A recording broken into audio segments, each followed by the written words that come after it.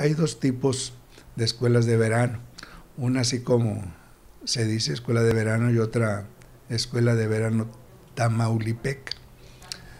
La escuela de verano está dentro del calendario de los que escogen el de 185 días. Esos 10 días restantes para completar los 195 es una de las opciones del maestro trabajar esos 10 días como escuela de verano y la otra, la Escuela de Verano Tamaulipeca, que es un programa estatal, es en vacaciones, en vacaciones, y voluntariamente seleccionar niños que tienen atraso, contar con el visto bueno de los padres de familia y maestros que quieran apoyar al programa y, y atender a esos niños de atraso escolar.